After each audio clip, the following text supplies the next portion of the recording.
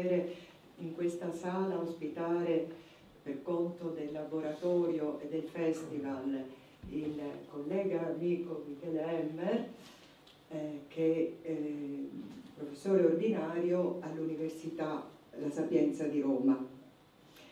E, Emmer eh, insegna da sempre alla eh, laurea in matematica a Roma e mh, insegna anche alla laurea specialistica un corso che si chiama Spazio e Forme. E guardando il suo programma, lui dice agli studenti che tratterà l'argomento come sia mutata l'idea di geometria dello spazio e come alla formazione di queste idee abbiano contribuito le arti visive, la letteratura, l'architettura. E io aggiungerei il cinema. Perché sempre di questo si è occupato eh, Michele Emmer nella sua lunga carriera di eh, ricercatore, testimoniate da più di 100 pubblicazioni e una serie di attività che lui ama chiamare di diffusione della cultura, che però hanno dato, eh, sono una pietra miliare per eh, la eh, divulgazione scientifica, matematica in particolare, e mh, per la didattica della matematica. Uh, Michel Emmer uh, è un matematico colto, appassionato, curioso, come tanti matematici, e soprattutto molto creativo. E i suoi numerosi libri e i suoi film che sono veramente pieni di fascino, poi ne vedremo sicuramente una, um, un esempio qui, hanno realizzato un fortunato connubio eh, tra scienza, arte e cinematografia. Sino all'ultimissimo eh, suo eh, pubblicazione, i numeri immaginari, cinema e matematica. Suoi filmati hanno fatto un po' il giro del mondo e si è interessato, ha collaborato con mostre, convegni, eh, attività di musei scientifici, appunto che hanno come mission, una parola che va oggi di moda, la eh, diffusione della cultura matematica. I suoi filmati, le bolle di sapone, l'enigmatico mondo di Escher, Flatlandia, sono direi delle perle che coniugano rigore scientifico con grande sensibilità artistica e dove si intrecciano molto naturalmente e in maniera affascinante arte, matematica, musica, poesia, letteratura, un circolo virtuoso tra creatività e immaginazione ma anche concretezza. Questi filmati lasciano affascinati chi li guarda, chi li vede, ma anche stimolano una grande voglia di saperne di più e questo è un grande merito per appunto la diffusione della cultura. Nel 2010 è stato eh, vinto il premio, la, eh, premio Viareggio per la saggistica e ormai da tantissimi anni, più di dieci anni, dal 97, ehm, Emmer si è inventato eh, e ha ed è promotore di un appuntamento annuale che si svolge all'Università di Venezia, Ca' Foscari, eh, il, un convegno a cui eh, partecipano studiosi eh, ma anche studenti sia italiani che eh, stranieri, è un convegno che si intitola Matematica e Cultura, che poi ogni anno, eh, di cui ogni anno pubblicato, viene pubblicato un libro eh, con i contributi, in cui si dibatte eh, a livello eh, proprio molto interdisciplinare il, eh, i rapporti tra matematica, arte, mh, poesia, letteratura, eccetera quest'anno si è da pochissimo chiuso il convegno che tra l'altro aveva un eh, omaggio a Turing. E, ehm, lascio subito la parola a, a, a Michele Emmer perché ci affascinerà sicuramente con eh, la sua conversazione, però... Eh, io volevo cominciare facendo vedere due piccoli film. Vi faccio vedere un pezzettino di questi piccoli film. Il primo è del 1911, è un film italiano. Si sente? Poco, poco. No, si sente.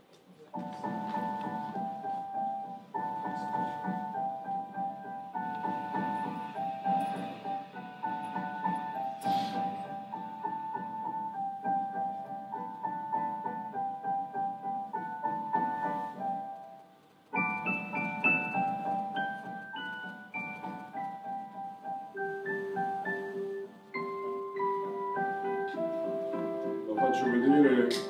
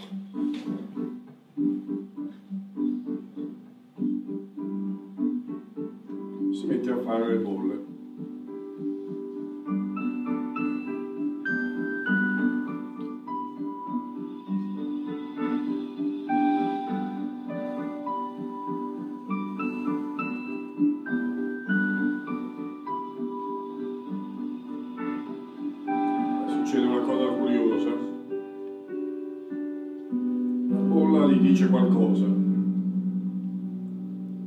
Dentro la bolla compare una scena.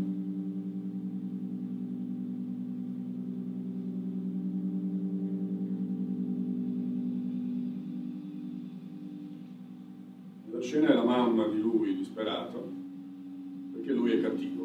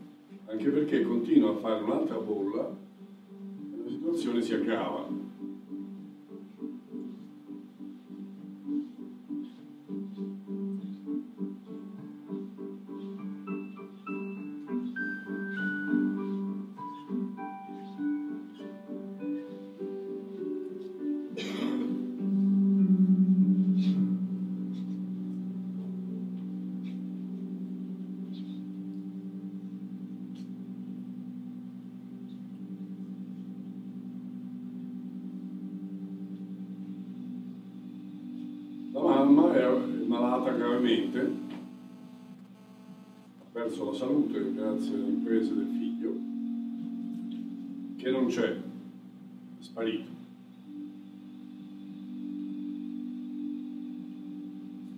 E la madre, nella bolla, muore.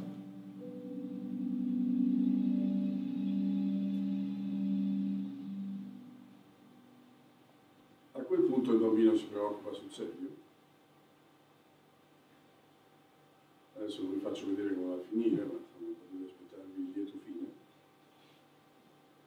Vi faccio vedere un altro piccolo film che è di qualche anno prima, ed è di Méliès. La cosa curiosa è che hanno eh, pubblicato in Francia dei DVD con tutti i film di Méliès, questo non c'è. Se qualcuno ha visto il film Ugo Chiabret, che in qualche modo vuole essere la storia di Méliès, ebbene si sta parlando esattamente di lui. Allora, 1906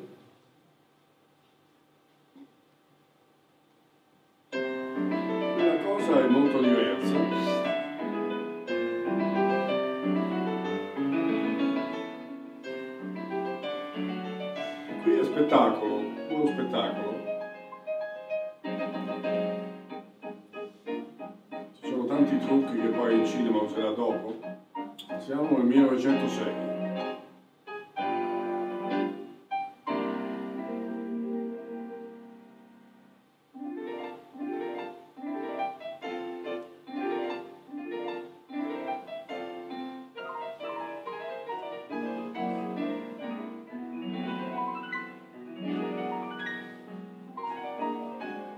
Méliès ha inventato la dissolvenza,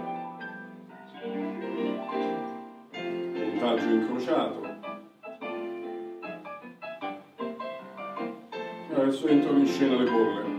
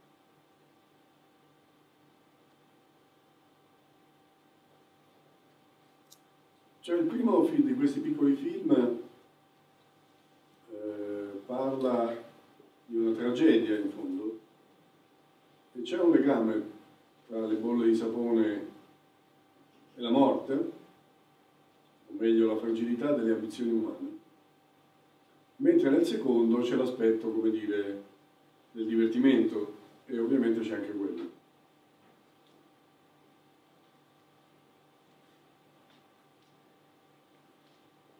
E quindi eh, io ho scritto qui da Vanitas alla piscina olimpica per insomma, un po' fare una specie di somma della storia delle bolle di sapone che inizia in un periodo molto preciso. Ma prima di dirvi quando inizia la storia delle bolle di sapone, faccio vedere intanto questa immagine, che è un'incisione francese del 1700, e, servita a un fisico francese, Gilles de Gennes, a concludere la sua lezione, un po' avanti, quando gli è stato conferito nel 1992 il premio Nobel per la fisica. Premio Nobel per la soft matter, la materia sottile, e in cui tra l'altro appunto parla anche delle bolle di sapone. E alla fine della sua conferenza a Stoccolma, ogni premio Nobel deve fare una conferenza che poi viene pubblicata su Science, questo è appunto Science, ebbene alla fine della sua conferenza c'era quell'immagine di bolla di sapone. Insomma, questo per dire che eh, ci sono molti scienziati che lavorano, tuttora lavorano sulle lamine di sapone, ma non solo, oltre agli artisti, gli architetti, i chimici, i fisici, eccetera, eccetera. Naturalmente le bolle di sapone, come avete visto dai due film, sono anche un gioco, un gioco per i bambini, di cui tutti si divertono. Ancora oggi vedere un bambino che fa le bolle di sapone credo sia difficile non guardare. Cioè, quindi ci sono innumerevoli storie con le bolle di sapone. Ci sono persone che fanno spettacoli con le bolle di sapone, mi è capitato di farne qualcuno con uno dei grandi artisti delle bolle di sapone che è Herbou, che è di Barcellona, è venuto anche al nostro paese varie volte. Però eh, in realtà quello che interessa i matematici è un'altra cosa, un po' più piccola di questa. Allora, eh, prima di dire quando la storia comincia, cominciamo a mettere delle date. Una delle prime date è il 1871, in cui Georges Bizet, l'autore della Carmen, che tra l'altro muore la sera della prima, a Parigi, eh, compone un, un musica per due pianoforti che si chiama Jeu d'enfant e all'interno di Jeu d'enfant c'è un pezzo che si chiama Boule de Salon. È probabile, si può fare l'ipotesi, che abbia composto questo, questa nel 1871 per una cosa ben precisa che era successa due o tre anni prima, di cui parlo fra un po'. Eh, naturalmente, perché se no non si capirebbe perché tutti gli scienziati se ne occupano, c'è tutta una storia scientifica e Lord Kelvin è importante in questa storia perché l'ultima cosa di cui parlerò è un risultato ottenuto pochi mesi fa, ancora non pubblicato, legato proprio a un problema che aveva eh, proposto Lord Kelvin nella fine dell'Ottocento. E che scrive questa, questa, frase, fate una bolla e guardatela con molta cura perché potreste passare tutta la, la vita a studiarla. Mentre un altro eh, scrittore nordamericano, in un libro che credo non sia mai stato tradotto in, in italiano, ha scritto, supponete che ci sia una sola bolla di sapone, immaginatevi quanto potrebbe costare. Allora, questo appunto è la Gilles de Gen, che tra l'altro mi ha mandato questa immagine, eh, che è del Settecento in Giappone, in cui si vedono queste due bolle, e eh, perché in Giappone un pittore a un certo punto si mette a fare eh, bolle di sapone? Beh, la spiegazione c'è perché a quell'epoca i Paesi Bassi avevano un enclave commerciale in Giappone e eh, lui, il pittore, va a scuola dai, per imparare la lingua e anche l'arte, va in questo enclave a studiare. È probabile che facendo questo abbia visto, abbia visto qualcuno, qualche quadro olandese di quegli anni, perché la storia comincia esattamente in Olanda. Insomma, non, non, non si può essere certissimi, ma è probabile al 90% che la storia cominci in Olanda. La storia delle bolle nell'arte, perché poi c'è la storia del sapone che è ovviamente precedente. Vi faccio vedere l'inizio di un film che ha avuto abbastanza successo, quindi probabilmente qualcuno di voi l'avrà visto, qualche anno fa, ma non molti anni fa, in cui due protagonisti erano già abbastanza conosciuti, ma sono diventati poi molto famosi.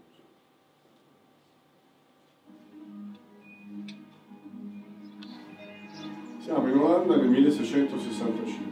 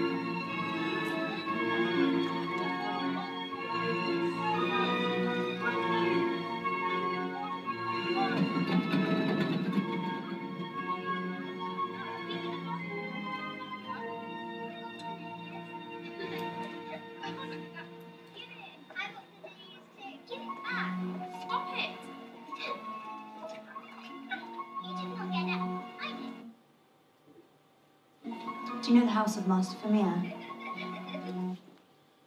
E il film è La ragazza con l'orecchino, eh, in cui si immagina che questa ragazza che sta arrivando a casa di Fermer eh, a fare la domestica diventerà poi la modella per il famoso quadro.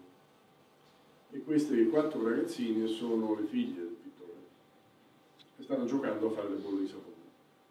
Eh, a noi non è arrivato nessun quadro di, anzi devo dire che qualche giorno fa ho fatto una conferenza in cui c'erano degli olandesi e mi hanno detto di dire Vermeer.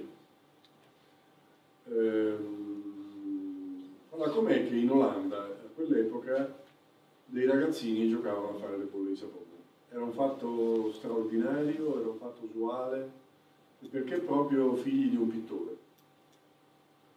Beh, non solo non era un fatto straordinario, ma era un fatto eh, del tutto usuale. Ora cercherò di, far- di spiegarvi perché.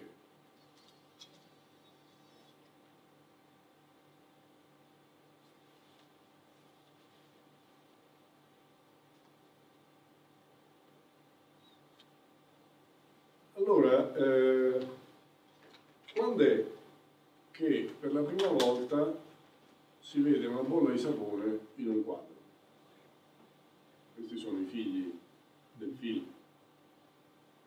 Allora, questa è considerata la mm, prima opera, ma in realtà non lo è, in cui compaiono le bolle di sapone nell'arte.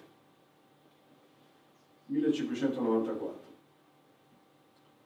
E, uno potrebbe chiedersi, ma com'è che prima nessuno faceva le bolle di sapone? Beh, nessuno faceva le bolle di sapone per il banale motivo che non c'era il sapone. Nel senso che il sapone come lo conosciamo noi probabilmente arriva dalla Turchia, che è molto costoso, si comincia a diffondere in Europa, dove peraltro c'era anche una grande tradizione di non lavarsi, c'erano re che dichiaravano pubblicamente di non lavarsi mai, e cominciano anche a diventare meno costosi. E gli anni sono quelli intorno all'inizio del 1500. Chiaro che una volta che arriva il sapone è immediato che vengano fuori bolle di sapone. Ed ecco il motivo per cui a un certo punto nell'arte fanno irruzione eh, immagini con bambini o putti che fanno le bolle di sapone. Però, come nel primo piccolo film, in questa immagine le bolle di sapone, riprendendo l'immagine classica che riguardava bolle d'aria nell'acqua, cioè l'uomo bolla, che riprende anche Erasmo da Rotterdam, che tra l'altro era amico di un pittore che fa un quadro che si chiama proprio Uomo bolla, ehm, e quindi viene, vengono prese le bolle di sapone come simbolo della morte, della fragilità delle ambizioni umane. Da cui anche il titolo, qui sevate. In realtà però, in realtà però, qualche anno prima già, si erano già viste bolle di sapone. Eh, questo è il pavimento della cattedrale di Maiorca, quando mi è capitato di andarci, tre anni fa, io ho visto sul pavimento questa immagine e ovviamente ho immediatamente pensato a questo. Sono andato nella biblioteca della cattedrale e con l'aiuto di due bibliotecari mi sono messo a cercare chi avesse fatto questa cosa, quando e perché. Perché era abbastanza chiaro quella era la tomba comune dei chierici all'interno della basilica. Questa è la pagina in cui c'è descritto l'ordine che viene dato a un ignoto, non c'è il nome, per costruire una bella lapide. Eh, siamo stati abbastanza fortunati, ma anche perché io sapevo che doveva essere sicuramente dopo il 1594. Se fosse stato prima sarebbe stato molto curioso. Infatti è 1596. Quindi evidentemente le incisioni di Golgius dovevano essere molto diffuse, tant'è che due anni dopo qualcuno sulla cattedrale di Barcellona piglia esattamente quell'immagine per fare questa lapide. Però ancora 20, 20 anni prima c'è questo piccolo dipinto che sta a Amsterdam, dove c'è scritto in greco Ponfos o Antropos, cioè l'uomo è una bolla, Ancora prima, e questo è il pittore tedesco amico di Erasmo da Rotterdam, l'uomo bullo purtroppo non è stato restaurato di centro, per la bulla in realtà non si vede da qui. E questo invece che è un vetro in una chiesa in Germania nel 1530. Questo è un altro quadro di scuola olandese di cui non si sa l'autore. Vi faccio vedere solo alcuni, perché sono centinaia, dei quadri, alcuni di pittori famosissimi, Ramierino, uno dei grandi pittori olandesi del Seicento, come Netcher, questo sta alla National Gallery di Londra. Molti bambini in Olanda, in Belgio, nel nord della Germania si facevano fare il ritratto con oggetti che amavano, e ce ne sono molti come i bambini con in mano la bolla e quindi in qualche modo comincia a separarsi l'idea della fragilità della vita umana dal gioco. Primo grande capolavoro delle bolle di sapone, 1651, David Bailey, autoritratto, qui c'è scritto Vanitas Vanitatum dall'Ecclesiaste, teschio, fumo, fiori secchi, eccetera, e le bolle. Simbolo della fragilità, ma come ha scritto Svetlana Alberts, che è la massima esperta di pittura olandese del Seicento, in fondo anche una grande affermazione di grande ambizione, visto che queste bolle sono lì da 400 anni. Dosso Dossi, 1530, ecco qui la Allegoria della fortuna. Altro quadro di David Bailey e poi Rembrandt, che risponde anche alla domanda che aveva posto Mark Twain quanto potrebbe costare. Questo eh, dipinto di Rembrandt è costato 9 milioni di euro. Era un quadro disperso, poi in qualche modo è stato ritrovato, in realtà non era disperso, era del duca di Liechtenstein che se lo teneva a casa, non faceva vedere a nessuno. E adesso il duca di Liechtenstein si è convinto a, a, aprire un piccolo museo a Vienna e quindi il quadro è lì. Ma che c'entra in tutto questo la scienza? Molto probabilmente, a furia di vedere quadri, a furia di che hanno fatto vedere solo qualcuno, furia di vedere bambini che giocano a fare le bolle, qualcuno si è fermato un attimo e ha detto ma vediamo un po' di capire che cosa sono queste cose. Questo qualcuno non è uno qualunque, ma è Newton. Nel 1704 Newton pubblica l'ottica e eh, poi in due pagine sono dedicate al problema del colore sulle lamine di sapone. Lui non ha la risposta, ma pone il problema. C'è poi un personaggio che entra in questa storia molto curioso, ovviamente non è questo, ma questo dovrebbe farvi venire in mente chi è il personaggio. Questo, Marat, eh, che non è vero niente, che sia stato ucciso nella vasca, eccetera, eccetera, ma insomma David l'ha rappresentato così, e che c'entra Marat in tutta questa storia? Marat voleva farsi accreditare come scienziato, ed è lui che traduce l'ottica di Newton in francese. Leggendo l'ottica di Newton si accorge del problema delle bolle di sapone e vuole risolverlo. Tant'è che nel 1786 all'Accademia di Rouen gli danno un premio per le sue ricerche sul colore sulle bolle di sapone, anche se le sue conclusioni sono, come dire, leggete qui, sono come dire un po' fantasiose.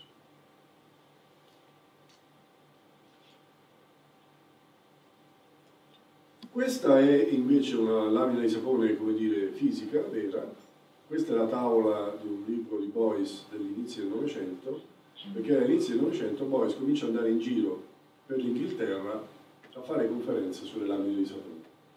Allora, la spiegazione è che ci sono la lamina di sapone fatta da due lamine con l'acqua saponata in mezzo, man mano per gravità l'acqua cola, le lamine si assottigliano, entrano in, con le frequenze d'onda dei vari colori e si cominciano a formare le lamine finché a un certo punto compare il nero, vuol dire che la lamina è troppo sottile, il primo che se ne è accorto è Newton, e la lamina si rompe.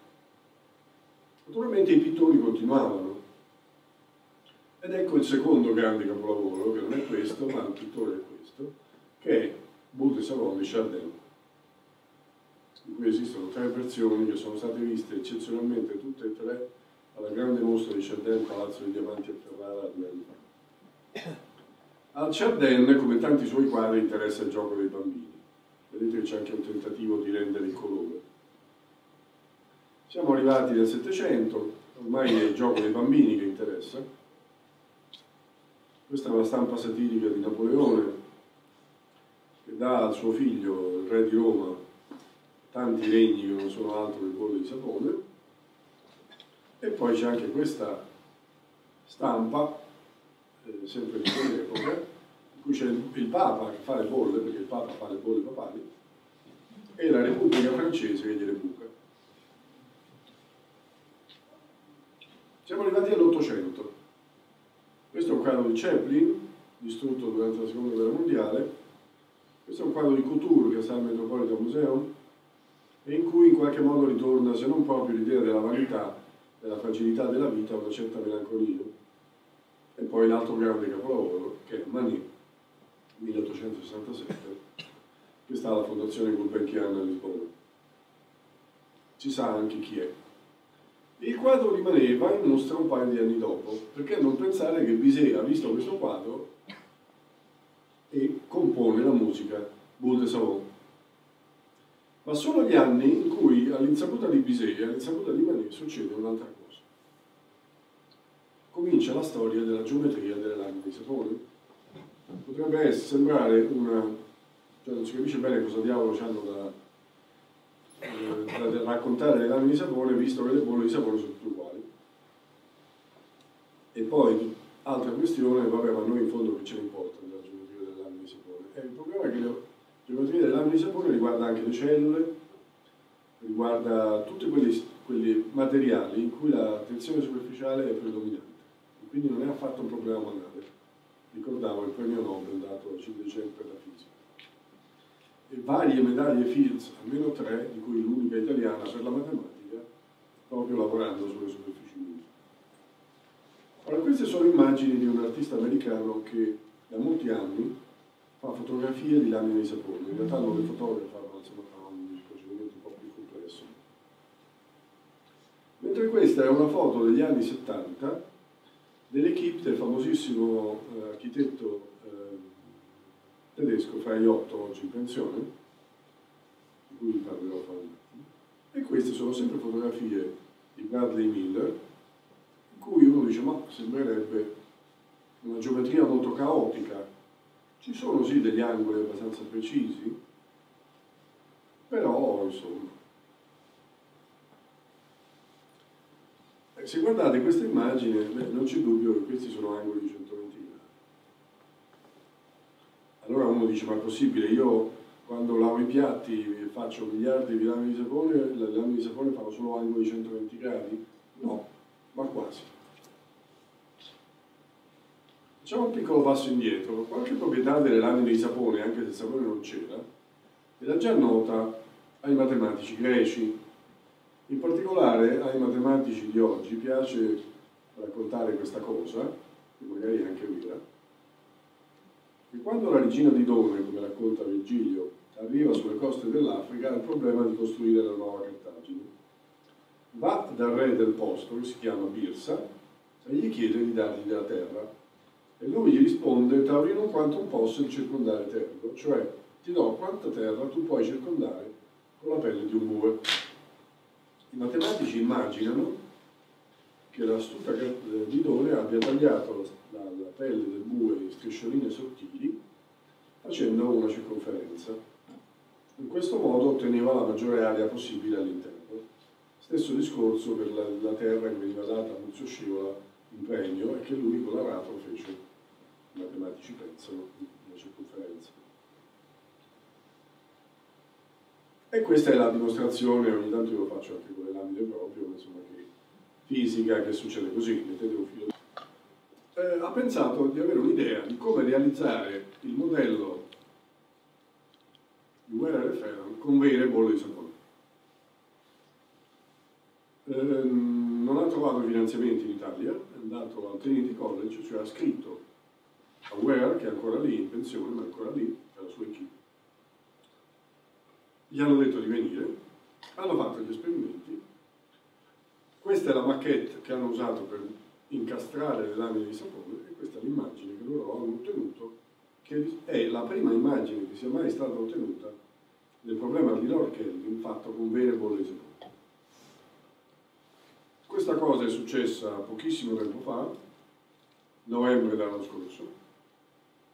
L'articolo è stato accettato sul Philosophical Magazine Letter, che è la stessa rivista su cui Lord Kelvin, cento anni prima, aveva proposto il problema.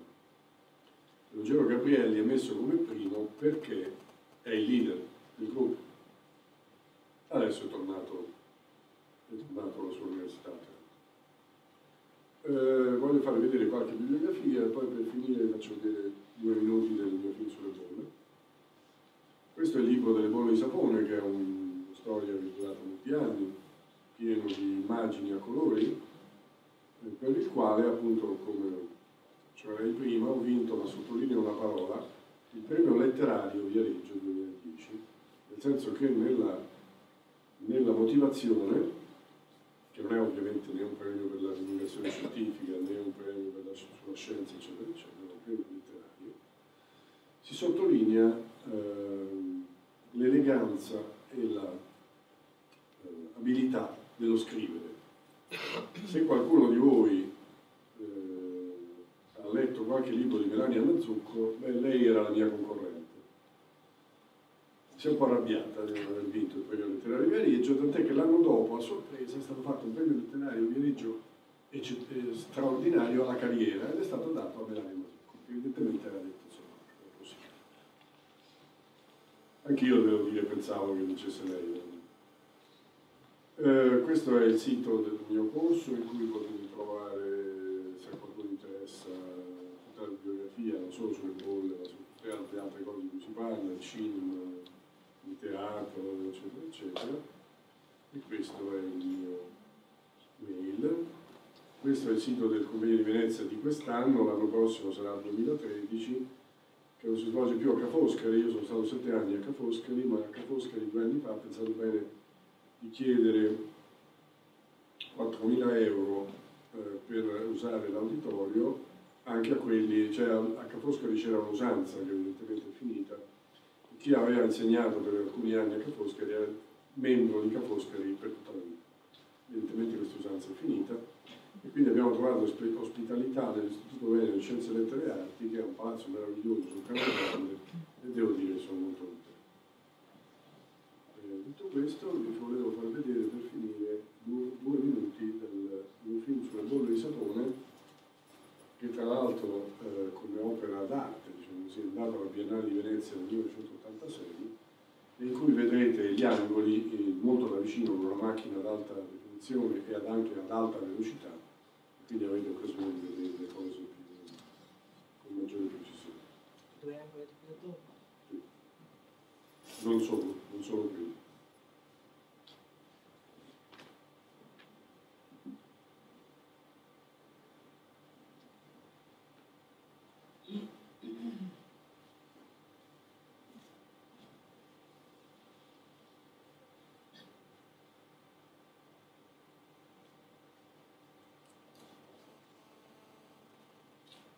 Nostro scopo.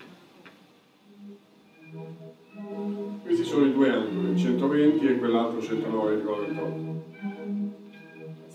Vediamo ora alcuni modelli di minima energia, cioè di massima stabilità per determinati contorni. Ah, la musica è il valzer delle rose di Weber.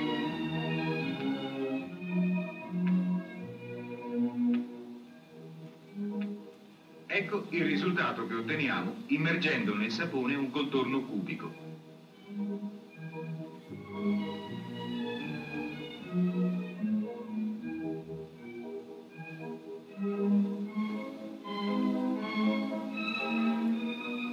Questo invece è ciò che si ha se il contorno è tetraedrico e in più si inserisce una bolla nel centro della struttura. Il colore, come ha osservato Boyce agli inizi del secolo, in un classico lavoro sulle bolle di sapone, dipende dallo spessore delle lamine saponate e dal tipo di sapone usato.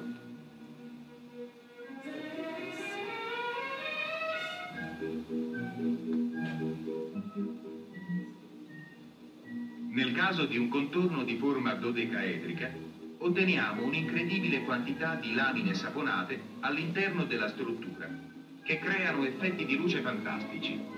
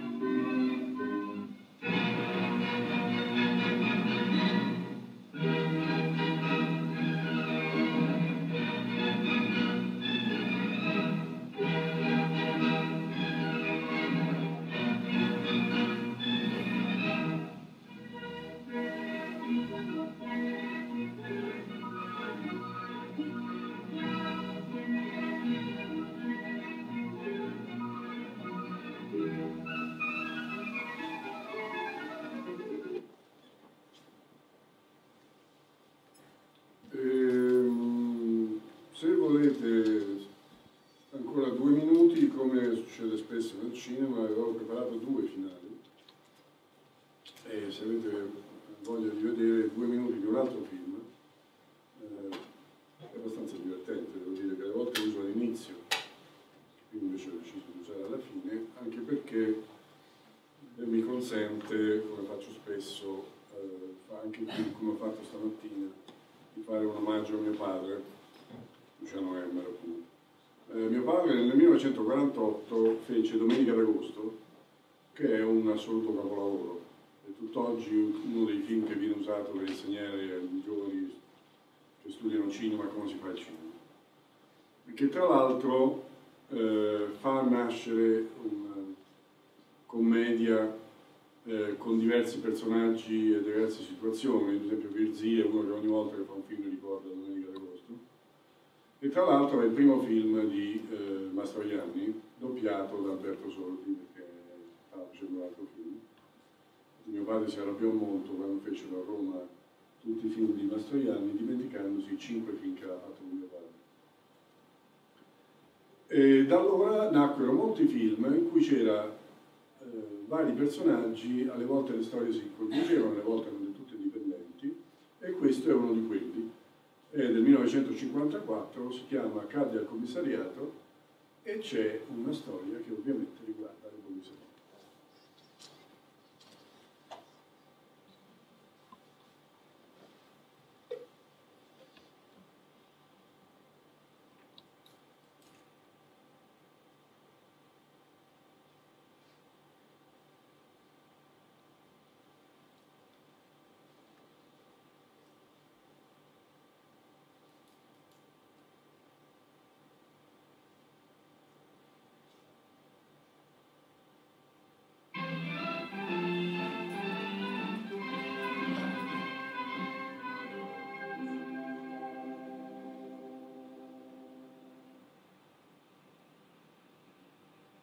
Cittadini, voi che mi avete seguito di vostra spontanea volontà, voi cittadini, ben sapete in quali tempi ci troviamo. Tempi in cui tutto si può dire e tutto si può fare. Tempi in cui non si sa che dire e non si sa che fare. Tempi in cui l'intrepida direttore diventa donna e la donna diventa caporale di giornata. Tempi in cui tutto è appeso a un filo come un padoncino. Questo padoncino si chiama incertezza. Questi sono i nostri tempi, o cittadini. Tempi incerti in cui da un momento all'altro può arrivare il fatto nuovo, sotto forma di una bomba, di un marziano, um, sotto forma di un essere informe. Attaccati perciò, cittadino, all'attimo presente. Attaccati ai tuoi piccoli momenti di libertà e di riposo, alle tue illusioni, e salgono fino al soffitto della tua dolce casa come variopinte bolle di sapone. Cittadino, non trascurare le tue bolle di sapone. Fai un momento. Opera, opera. Ed è per questo che io vi dico, per le gioie dei grandi e dei piccini do, questo è il vostro prodotto ai cittadini. Sapone. Palloncini colorati che salgono in cielo come le vostre illusioni, signor signori. Vi portate a casa questo oggettino, signori, forzando la modica somma di lire cento. Non ve l'aspettavate? Non ve l'aspettavate, signori? 100 lire, soltanto 100 lire che non me li faccio neanche le spese, ho la mia dolore. Ma esce a lei, a me mi tanta di vario sto io. Sta con lei, mi scopizio. Guardi, palloncini colorati, 100 lire, signori e signori. Dico 100 lire.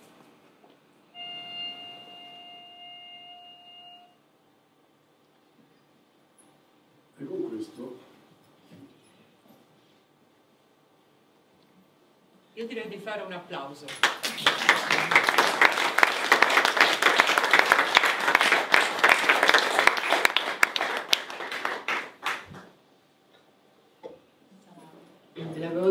Che era un matematico colto. mm? E- e, se ci sono delle domande,